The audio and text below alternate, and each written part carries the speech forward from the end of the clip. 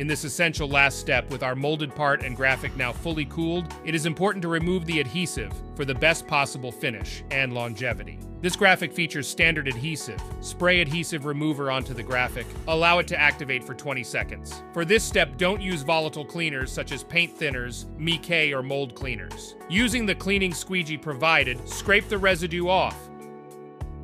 Then simply polish the graphic using a disposable towel to finish. Use this cleaning process for your mold to prepare for your next application.